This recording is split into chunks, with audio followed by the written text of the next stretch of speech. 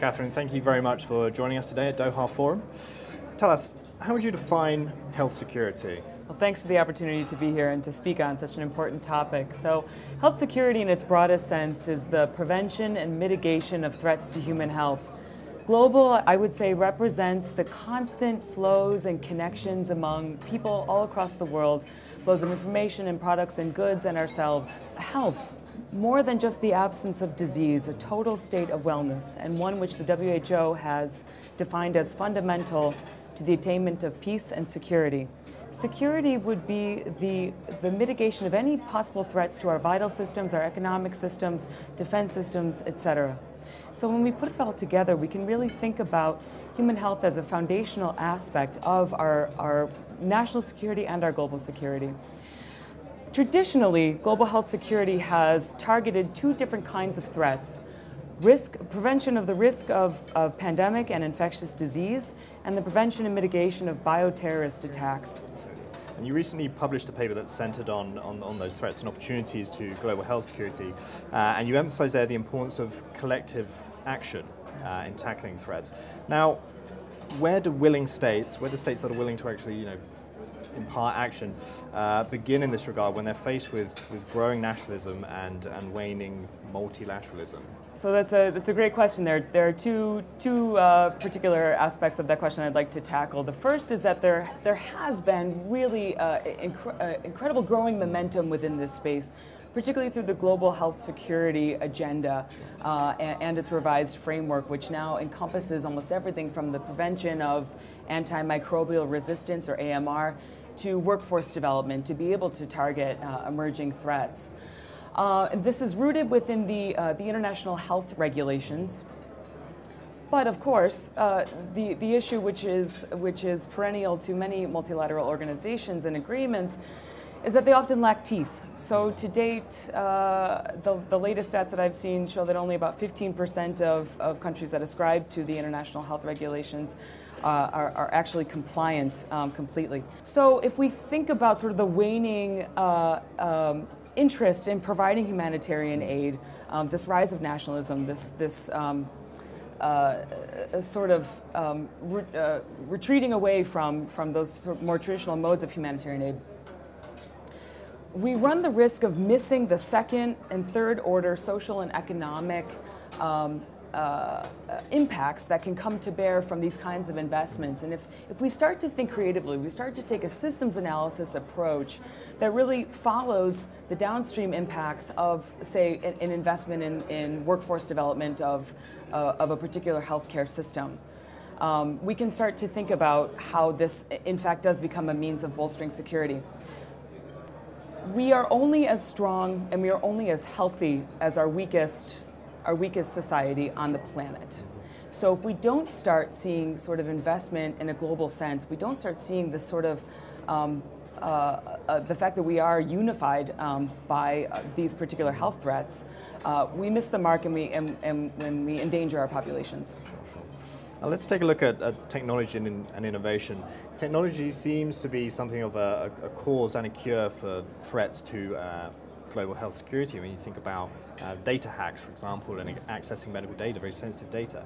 Um, what's your interpretation of the role that technology plays? Well, I think it, it, as in many cases, as you mentioned, it's, it's both promise and peril. It's, mm. it's a double-edged sword across the board. So when we think both in terms of global health and global health security, we could take something like uh, artificial intelligence and machine learning that might assist within the detection of a particular infectious disease threat, but also the identification of a proper uh, medical countermeasure. However, virtually every form of machine learning at this particular point is uh, is subject to uh, or, or, or, vulnerable to, to existing risks uh, for, a, uh, for a hack. How will we know if, if a particular AI or, or, or machine learning uh, uh, tool sure. is accurate or whether or not it's been hacked? I think another area that is is um, gaining prominence, but, but is also particularly vulnerable within this space, is, is within the space of genetic engineering or, or CRISPR technology. Let's look at climate change also. That's obviously another factor we've got to address. Um, it's another factor that's compounding health security, and in fact, there's a there's a there's a report from um, World Health Organization that found that uh, the direct damage of climate change to, to security is estimated to reach uh, between two and four billion dollars by 2030. Mm. Talk us through the influence that, that climate change is having in that regard. So it's not just climate change, right? So climate change will, will obviously impact the the spread of vector-borne diseases. Um, so we, we've known this. We've, we've been observing this for, for decades now. Um, I think it's also worth considering the mental health impacts, uh, as well as the downstream social and economic uh, well-being impacts that we'll see along the way. But it's not just climate change, especially when we're considering the landscape of, of uh, global health security. Yeah. We can also think about the massive uh, economic impacts, uh, as well as the death toll from, say, antimicrobial resistance. By the year 2050, if left unaddressed, uh, that death toll could rival that of cancer. And also, if left unaddressed, it could, could uh, reach costs upwards of seven to ten billion dollars for your average uh, healthcare system. That's one aspect. The other aspect, of course, that's coming to bear on this too, another costly problem in terms of, of quality of life uh, and, and actual economic cost, would be in the mental health and behavioral health crises. So uh, expenditures for depression alone are in upwards of 200 billion in the United States. Uh, virtually half of adolescents and young adults face some kind of mental disorder. Um, and that's not even to say anything of, of the, the, the rising opioid crisis, which uh, for, for all of its uh, multifaceted causes uh, has, has no sort of easy fix solutions in sight.